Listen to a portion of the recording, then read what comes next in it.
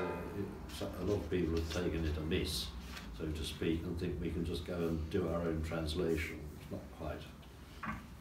Yeah, the um, Magnum Principia was uh, published on the 3rd of September 2017 and um, it allows a greater freedom for bishops' conferences to undertake the work of translating the liturgical texts.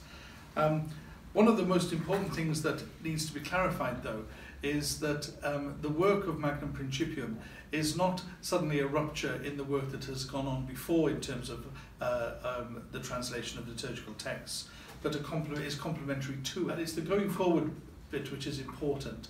The um, Congregation for the Discipline of the Sacraments and Divine Worship have, has actually clarified that the, there is no retroactive application of the motu proprio.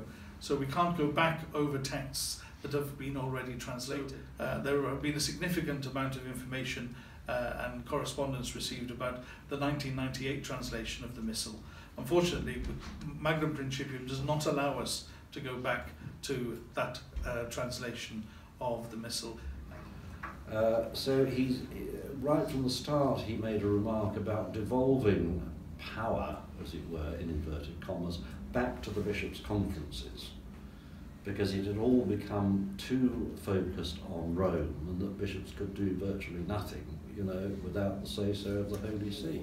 I think uh, that he's saying, well, no, uh, that, you know, each Episcopal conference or national conference should um, should be able to have their own translation. I think what uh, some people will be quite um, upset about is that we can't go. I mean, we've all had letters from uh, people, uh, usually from other dioceses, actually, saying, "What are you bishops going to do about all this?" You know, when when can we either go back to the old 1968 one, or when are you going to do a, a, a new translation?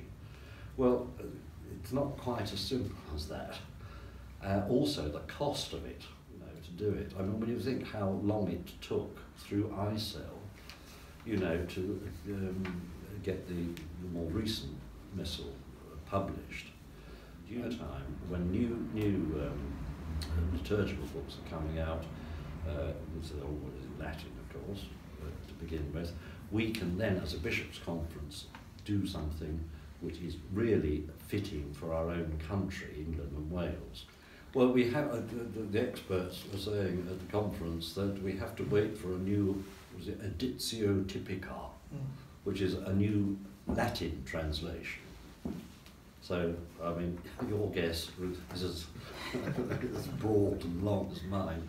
I, I'm not sure I should be around to see that. I'm getting a bit aged, I'm getting towards the end.